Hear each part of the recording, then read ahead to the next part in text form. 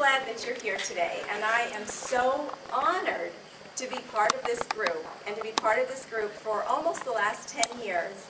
Um, you guys have been so warm, so welcome, and it's now a real privilege for me to welcome all of you to my neck of the woods here in the Bay Area, because I live basically right across the bay, and so I hope everyone gets to enjoy um, the Northern California Bay Area while you're here in town.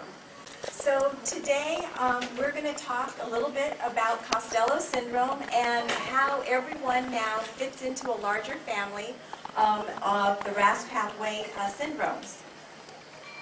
So, and so much has happened since the last time we met in Portland, and I just want to remind you that it's only been two years ago where we all were in Portland, and we had our very first International um, Costello Syndrome Research Symposium, where we spent the entire day with international clinicians and researchers talking about Costello syndrome and how we can move the research and the best practices for the kids forward. And we had, again, speakers from all over the world where we were talking about the new gene discovery of HRAS, and we brought all the researchers together to start thinking about the possibility of treatment and clinical trials. And the favorite part of the entire day was the very important keynote speakers that we had um, two years ago. And they really kicked off that day and really set the pace for what we did um, two years ago. And I also want to take a step back, just as what Tammy was saying, with regards to where Costello syndrome has been going. And when you look at this, this is just a schematic, a diagram of the number of papers that have been published um, throughout the years. And if you look at it, that in 1977, this is when um, Dr. Costello first published the paper on Costello syndrome, but it wasn't named Costello syndrome at that time. And then it was basically rediscovered, in quotes, um, in 1991 by Der Kaloustian et al. And that's when it, that's when all the interest really sparked. It had to be rediscovered and put into the literature. And then you can see that the last one in uh, 2008 uh, and 9 you can see how 25 papers, when you combine that year, how it's really grown. And I'm telling you, this is just the beginning. So what is the RAS pathway and why is it so important? Over the last several years, you've heard RAS, RAS, RAS. What's the gene? Well, what in the heck is the RAS pathway and why is it so important? Well, the human body is made up of trillions and trillions of cells. And those cells need to communicate with each other and with the environment. So here is a cell. You have the cell membrane, and you have the nucleus, and you have the inside of the cell, and you have the outside of the cell. So what the RAS pathway does is you actually have a signal from the outside of the cell, which basically touches the cell. It signals to the cell itself. And the cell has a receptor in the cell membrane, and that receptor picks up the telephone and gets the signal. Then there is a bucket brigade inside of the cell where you literally, literally have one signal going to another signal, going to another signal, going to another signal. And then there's RAS. RAS truly is the center of that signaling hub. It is so important that in fact it's so important that there's multiple RASs inside that cell. That's how important RAS is. And then RAS, once it gets the signal, it tells the cell what it's supposed to do. It tells the cell whether or not it's supposed to divide. It tells the cell whether or not it's supposed to differentiate or become unique among a sea of cells. It can tell the cell, you know what, we're getting geared up here. We need you to make more cellular components. So it tells the cell to make cellular components. It tells the cell, you know what, it's time to start moving. You need to move, get moving. And it can tell the cell whether or not it's supposed to survive or whether or not it's supposed to die. So that is the RAS pathway.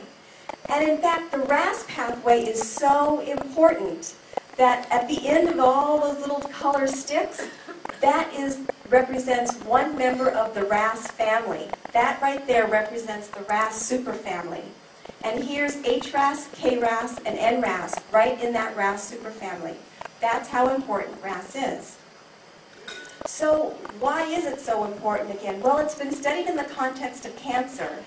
Um, and so what has been identified is that there's abnormal RAS signaling, this very important cellular pathway, in over 30% of the cancer studied. So that's important. But the good news is, because the RAS pathway is so important, and it has been an intense area of focus, that there are already many drugs that are targeted to this pathway. So again, to remind you, here's the RAS pathway and what it does. But when the RAS pathway is altered, all the things like dividing cells and to differentiate and to make cellular components or to tell the cell to move or tell the cell whether or not to survive or die, that can get a little dysregulated. It functions, but it functions just a little differently. So here's the representation of the RAS pathway with all of its correct components here. And so this is basically just like the schematic, but now we've added in the components. And this is, these are the components that have been found altered in the family of syndromes of the RASopathies. So here they are. This is, these are your kissing cousins right here. So you have neurofibromatosis 1. You have Noonan syndrome. Leopard syndrome, which is a very close cousin of Noonan syndrome. Gingival fibromatosis 1 is part of the pathway. Capillary malformation, AV malformation syndrome. Autoimmune lymphoproliferative syndrome is part of the pathway. Costello syndrome, right in the middle there. Cardiofaciocutaneous syndrome, and the new kid on the block is Legius syndrome. So we're here to talk about Costello syndrome and how Costello syndrome fits into the rest of the pathway. But I want you to remember something, that Costello syndrome truly is the center of the RAS-MAPK pathway, right there in the middle. And today you guys are going to have wonderful talks from people from all around who are going to talk about the issues of Costello syndrome, talk about the neurological issues. Um, Dr. Audrey Foster Barber is going to talk about the enlarged ventricles, tethered cord, Chiari malformation. As you know, the heart and the cardiovascular system is, system is also involved with Costello syndrome, and Dr. Angela Lin is going to talk about that. Growth and development, very, very important. And now that you've seen all that what the RAS pathway does, you can see how growth and development can be affected. You're going to hear about failure to thrive in the natural history from Ginny Proud, how short stature with growth hormone deficit and hypoglycemia and puberty can be affected. Dr. Dan Doyle is going to talk about that. And uh, Dr. Marni Axelrad is going to talk about motor delay and speech delay. And you're going to hear about how all of this can actually affect um, uh, how your child undergoes anesthesia because it's really important, all the anatomy and the physiology of the kids. And Dr. Michael Lennis is going to talk to you about that. And you all know about the special skin findings in Costello syndrome, and Dr. Dawn Siegel will be uh, talking about that with you today. And the eyes, of course, um, are affected with strabismus, nystagmus, astigmatism, and so forth. And Dr. Suma Shankar will be talking to you about that. And as you all are very well aware, that Costello syndrome can be associated with um, cancer, and Dr. Bronwyn Kerr will be speaking about that. And one thing, of course, to remember is as the children get older, there are special issues in adulthood. Um, how the body changes, how this affects activities of daily living, and uh, Dr. Sue White and Beth Hopkins will be mentioning that. And of course, how the bones can lose minerals, and Dr. Dave Stevenson will be mentioning that. And it's so nice to have uh, Dr. Stevenson here because he's come over, he's going to come to the bright side. He's from the dark side, NF1, and we're bringing him over into, into the light. So you all have heard about HRAS. We talked about it uh, two years ago, and you're going to hear more about it today. And basically, the bottom line is HRAS, which you now know as a very important gene in, our, in every single cell in our body, There is a genetic alteration that causes Costello syndrome, with the majority of the genetic alterations happening in the first coding exon, um, in, in, well over 80% of the individuals, with a, with a handful having different mutations and different genetic alterations in a different part of the gene. But we, I really want to focus the rest of the talk on Costello syndrome and how it's become a member of a family. And why that's so important is because learning about other syndromes in this family of syndromes will help us learn more about Costello syndrome. And for example, NF1, neurofibromatosis. So neurofibromatosis, just in a nutshell, is relatively easy to diagnose because it has very special skin findings, which a lot of physicians can recognize. These children or individuals can have these larger birthmarks called cafe au lait macules, and they can be all over the body. They can have what's called uh, freckling in the skin folds in both the axilla and in the groin region. It's called fold freckling. And these particular individuals get neurofibromas. They're very different from papillomas that we see in Costello syndrome, but still nonetheless it's something that's very special to neurofibromatosis. And there are other features involved in neurofibromatosis. These, these individuals can have um, learning difficulties, they can have GI problems, including constipation, decrease in bone density, um, and Dave Stevenson has that study going on because he studied it in NF1 and he's going to be looking at it in Costello syndrome. High blood pressure and vascular issues, you know, skeletal issues. Sometimes uh, headaches can occur in individuals with NF1. They can sometimes have seizures and hydrocephalus. And just like Costello syndrome, NF1, these individuals can get cancer. And then there's Noonan syndrome. Noonan syndrome um, is very similar to Costello syndrome. It's very difficult to differentiate. Um, it can be for some clinicians, especially early on in childhood. And just like Costello syndrome, individuals with Noonan syndrome can have heart problems, they can have growth and development problems, they can have similar findings um, on MRI, and like Costello syndrome and NF1, these individuals can develop cancer. And then there's capillary malformation, AV malformation. I just want to mention this briefly because it's a syndrome that actually it's a fascinating syndrome that is not getting enough attention that it should, but I think that will change. And this is due to genetic alteration also in the pathway. These individuals can get capillary malformations, a handful of individuals can have heart problems, and some may develop tumors as well.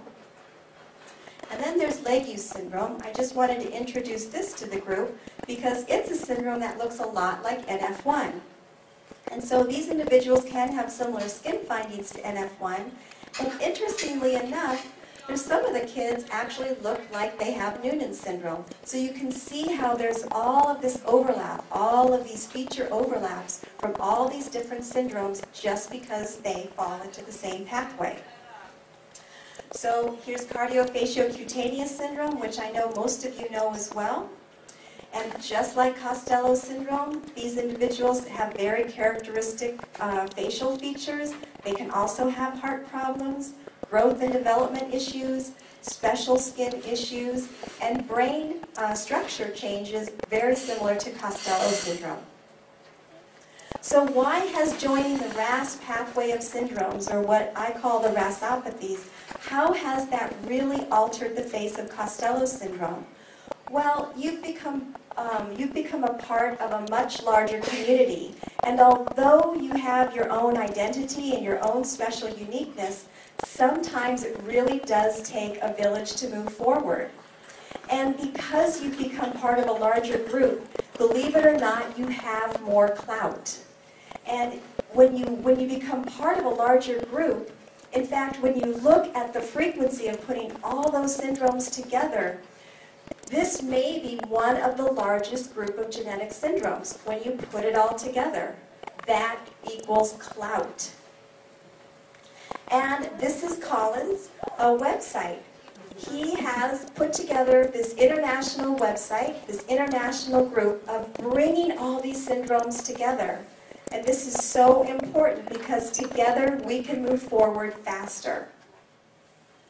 So, and learning about other syndromes in this family of syndromes will help us learn more about Costello syndrome. Again, even though there is uniqueness, because there's so much phenotypic overlap, what is going to be found in one syndrome needs to be looked for in other syndromes that may never have been recognized before.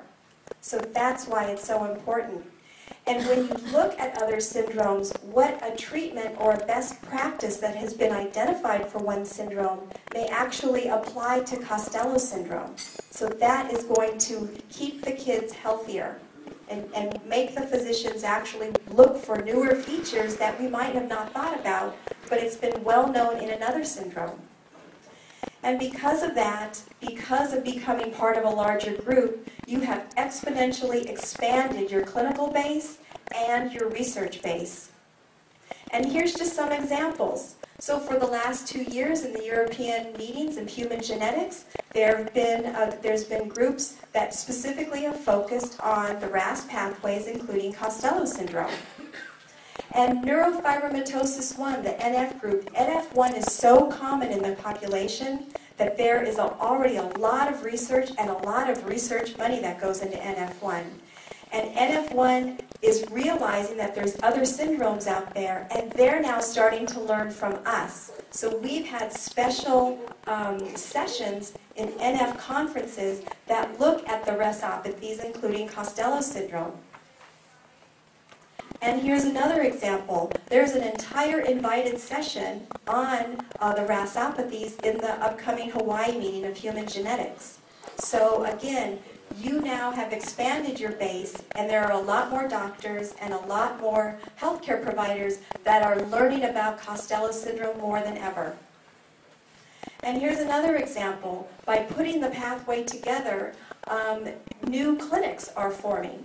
And we have a clinic at UCSF, we call the NF-RAS Pathway Clinic, and we see all those syndromes that are part of this pathway in this one specialized clinic, where we now take a child, we can transition them in healthcare into adulthood. We have, I think our crowning glory is over 60 physicians that are dedicated in both the pediatric arena and in the adult arena to care for these individuals with RAS syndromes, which includes Costello syndrome. These are experts in the pathway of RAS. And it's a, it's a clinic that's guided by Advocacy Advisory Committee from all the different groups. And we have a scientific advisory board to make sure we're on track and providing the best, best health care to your children. So I just want to end with um, a talk about animal models and what's been going on with Costello syndrome and animal models and why animal models are so important. So animal models provide us a new understanding and insight for the mechanism of how activated uh, HRAS causes Costello syndrome. Without having animal models, it would be very, very difficult for us to study this and it helps us understand how the genetic change affects growth and development. And it also allows us to study the cellular mechanisms at a detail that we could never do, never do um, in humans. And it really does help us begin to examine treatments um, in preclinical models and trials. And currently, just to let you know that there are two mouse models out there that have been published for Costello syndrome and one zebrafish model that has been um, published um, for Costello syndrome. Now, just to clarify, I just want to add a little footnote, is that some of you may be asking, well, the Costello syndrome model is not a model that is the most common in the genetic change in Costello syndrome. It's the most common genetic change found in cancer, which is very different from the common genetic change found in Costello syndrome. Well, this was a place to start. When, when researchers heard about the HRAS, genetic change in Costello syndrome, they literally went back to their freezers, got their cancer models, and actually started to look for the developmental consequences of the HRAS genetic change. So that's why they're all G12V as opposed to G12S. But that's a good start. It's not the best, but it's a very, very good start. So just to quickly mention the two publications um, for the Costello syndrome mouse models. One from um, uh, the group in Spain, from Barbacid and his group. Um, their mouse model does have some genetic, uh, it has a genetic HRAS change of the uh, G12V, which is different um, from the common Costello syndrome change. But there are some uh, similar features. The genetic, excuse me, the bony facial structure um, is a little different from the wild type mouse. There seems to be some heart issues in the, in the mouse as well, and high blood pressure, which can be treated with a common um, antihypertensive drug called captopril is what they looked at. But what's interesting in their mouse model, their mouse model didn't have any tumor development. So then there was another mouse model that was recently published by uh, Dr. Fagin and his group in New York. And it just had a little different way that it expressed the HRAS gene in the mouse. And it too had bony changes that were similar to the Spanish mouse model. Um, and these um, mice also did develop high blood pressure as well and some cardiac changes. But what's different is their mouse model did develop some tumors, including papillomas. So again, this is a good, a good step to help us um, look at the different changes and to consider different treatment options. And then I do want to mention the Costello syndrome zebrafish model. So zebrafish, you might think, are so far away from mammalian development. Why would they be important? Well, actually, because zebrafish do develop in a very similar fashion to humans, if you can believe it, and you can get a lot of zebrafish very quickly. And so this is um, a zebrafish model with, again, the same, more so cancer change, but you can see the difference between the HRAS model and the wild type model. And the HRAS model has a little bit of body coarseness that changes with age. So as the mouse, is, or excuse me, as the zebrafish is developing, the body shape changes a little bit. And the body also is a little shortened, there's bony skeletal changes, and the eyes are very wide spaced. So there is some delay in heart development, and they believe that this leads to the enlargement of the heart. And this zebrafish model actually does develop tumors, so it might be very helpful when trying to look at treatments as well. So the good news is that there are treatments out there. This is a very well-studied pathway. There are treatment available, small molecule inhibitors that alter the, the way that the pathway signals. And so these are things that a lot of researchers are very interested in looking at. And here's another example of moving forward um, with regards to clinical trials. And this is something that we've done with, remember, the urine that we're collecting now and the urine that we collected two years ago. So here's an example of looking at the proteins, something called proteomics, where we want to see how does that HRAS change the body compared to, for instance, a sibling. And so looking at the urine of, of Costello syndrome and CFC syndrome and um, SIB controls is that there is a protein change we're still trying to identify what that protein is, but this might be something called a biomarker that might be very handy when, if we do continue to move towards clinical trials, that this might be something kind of like high glucose, high blood glucose, or high cholesterol. That's also a biomarker. So if you've got high glucose or high cholesterol, you change your diet, you go on medicine, you check it again. If it's back in the normal range, you know you're doing a good job. So that's kind of what a biomarker is. So can we identify biomarkers that we can find in the kids that when we treat them, we know we're doing a good job because it goes back to the normal range. So that's the idea. And again, you guys are all making history. You started off with the first Costello Syndrome International uh, Research Symposium, and now everyone has come together here today. You guys have all come together with other, with four other syndromes. With NF1, they're holding a family symposium on Sunday. You've got uh, CFC syndrome and Noonan syndrome. All the families have come together around um, an international research symposium which is taking place this weekend. But basically, really what it is for you, it's the second International Costello Syndrome Research Group because the Costello syndrome research is going to be looked at in the context of all the other syndromes. And so there, even though we have come a long way, there still really is a long road ahead of us. And so here are some goals that maybe we can think about as we continue to move forward. We need to continue spreading the word about Costello syndrome and the RASopathies. By increasing our presence and increasing the research, we'll let everybody know that we're out there, and that's a good place to start. We need to continue learning about the natural history of Costello syndrome, and this is why it's so important to be part of Karen Gripp's study, because she and um, Ginny Proud, along with Ginny Proud, are really looking at how Costello syndrome from child to adulthood, because there might be important markers in there as well. So, um, very important to continue understanding the natural history of Costello syndrome to continue learning about the biochemical functioning of how the altered RAS protein and how it affects development. Again, it leads back to biomarkers um, and to try to isolate biomarkers that might be helpful for us. And to continue exploring the application of small molecule inhibitors in the pathway. There's a lot of cancer small molecule inhibitors out there that can be very, very well applied to um, the pathway uh, for Costello syndrome. And we need to continue exploring the animal models and again the biomarkers and the clinical trial endpoints that I've already mentioned.